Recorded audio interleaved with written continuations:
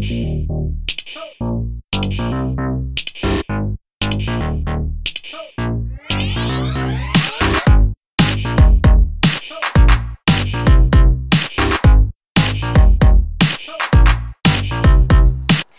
my friends, it's Odette here. Welcome back to today's video. Welcome to my channel. And I hope you guys are all doing super well today. Hope this year started off pretty well for you guys. And I wish you guys nothing but the best uh, for 2021. And I really hope it's going to be an uneventful year for all of us. If this is your first time coming across my channel, again, my name is Odette, uploads it twice a week. I invite you to subscribe and also turn on the notification bell so you will be notified whenever I upload a video. And I'm also going to ask you guys to please watch the videos to the end and not skip through them. I'm trying to shift my YouTube watch time hours. And by the way, uh, guys, you would have seen the Smart Planner in Monday's video. This planner, the month of January, is full. And I'm going into February, but I'm proceeding with caution because last year, January 2020, I had my uh, PA planner and my life just went a whole different direction. So I thought, okay, let me try again with this one. And I do hope you guys get a chance to pick this up because it's a really good one. Uh, it's called the Smart uh, Planner from Amazon. I'm going to link it below again for you guys. And I do my writing in here at nighttime, you know, when I'm settled down in bed. I write my thoughts down. It's just wonderful. I really hope you get a chance to get it. Anywho, in today's video, we are going to talk about things I've learned in 2020. Where do I start? I mean, 2020 has been a crazy year. We all know that. But I am just going to talk about myself and things that I've learned in 2020. Many of you don't know this, but I went through a divorce last year. Um, I mean, going through a divorce, separation is never easy. It's not a fun thing. It's not a happy time. It's not something to be jumping up for joy about, you know, because you spent your whole life with someone and all of a sudden, you know, you have to reset. You have to turn around and restart your life. But thank God I'm doing really good. I'm doing absolutely wonderful. Trust me guys, I'm doing really good. Um, 2020 has taught me to pray. Prayers changes things guys. And I'm, I'm not talking about, no, thank God for today, thank God, da, da, da. I'm not talking about that. I am talking about giving God more of your time to sit down, have a moment, and pray to God. And I wanted to give God more than just a passing glance. You know, like the song says by Lee Ann Womack, give the heavens above more than just a passing glance. And when you get a chance to sit it out or dance, I hope you dance. It's a wonderful song. And I've learned to pray and I've learned to give God more than just a passing glance because going through the lockdown, going through a divorce was not easy. Um, it really wasn't. You know, looking back, I thought to myself, wow, I've been through it. And I have a feeling God said to me, Odette, come here, stand right here. Look at that ocean ahead of you. It looks calm, but you're about to go through it.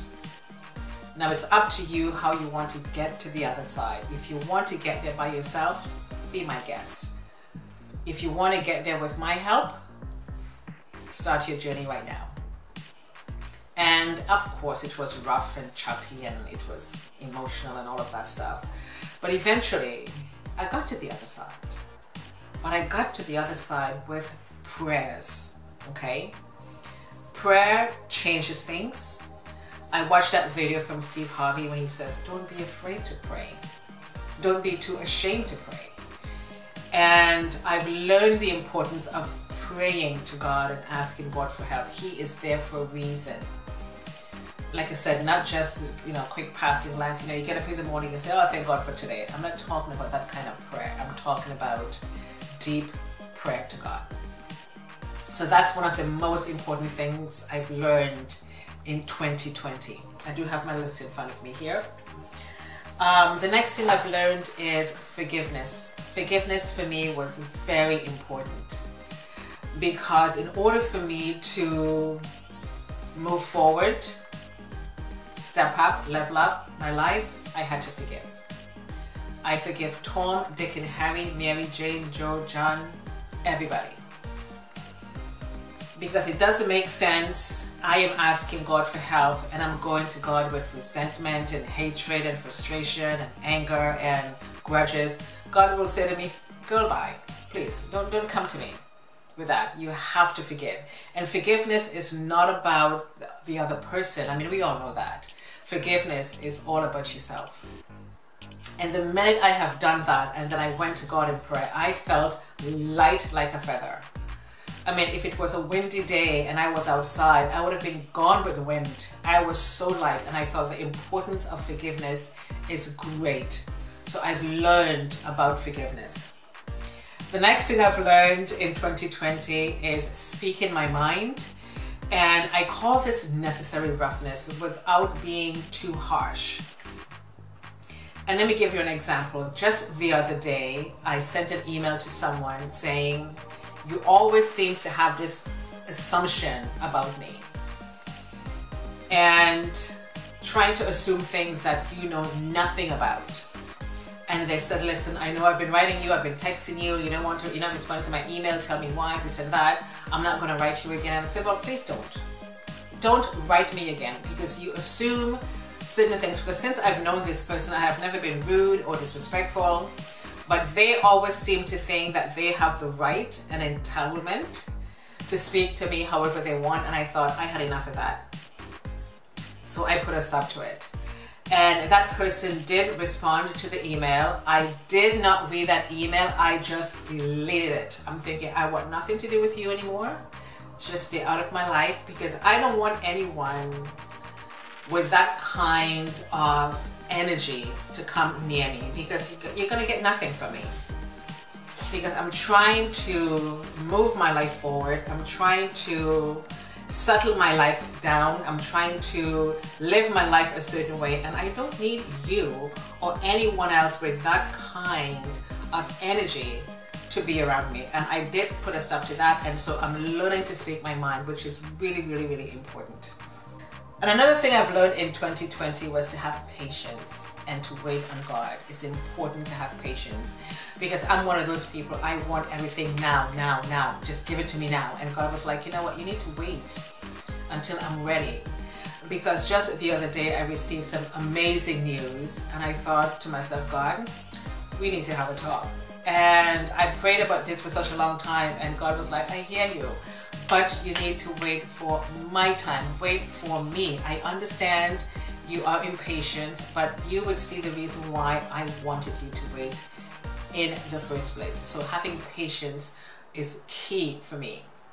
And so the next thing I've learned was self-care. I always knew about self-care, but to me self-care was a lot more important last year than any time else in my life because going through the lockdown was really difficult and on top of that dealing with the divorce was amazingly hard and I had to find ways to really try and take care of myself.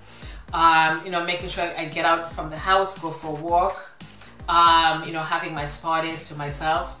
Meditation was one of the things that I practiced uh, too last year. I would just lay on my yoga mat and put some relaxation music on in my ear and my iPad or iPod or whatever, you know, you have. And just close my eyes and escape for a minute and just do some deep breathing and relaxing um, you know, having my, my spa days and stuff like that. It's really important. Laying on the couch, just, you know, with my blanket and just watching something silly on TV. Doing something fun for myself. Going out to the store when the shops were open to get myself a new shirt. I picked up a pair of socks the other day. I'm thinking, why do I need socks? I picked up a little thing of Vaseline. I'm thinking, I don't need this, but I'm just going to pick it up.